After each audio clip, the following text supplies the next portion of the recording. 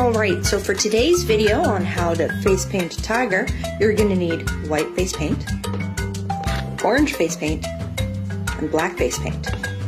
Uh, you're also going to need a sponge, a fine-tipped face paint paintbrush, and some bobby pins if whoever you're face painting has long hair. You'll also need some water just to clean off your paintbrush and to put a little bit on your spot.